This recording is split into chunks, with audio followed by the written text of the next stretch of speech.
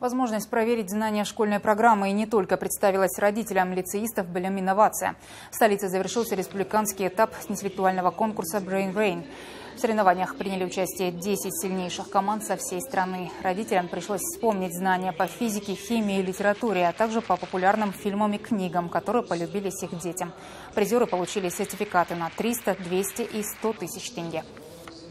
Но я считаю, что э, участие родителей в жизни ребенка является основной задачей, наверное, для нас. Это один из способов поддержать нашего сына в его обучении. И в то же время есть определенный азарт, наверное, для участия в этой игре. Жарыста мақсатымыз Мы проводим такие игры, чтобы родители взаимодействовали со школой, внося тем самым свой вклад в образование ребенка. С этой целью мы также ежегодно организуем множество спортивных соревнований и других конкурсов. of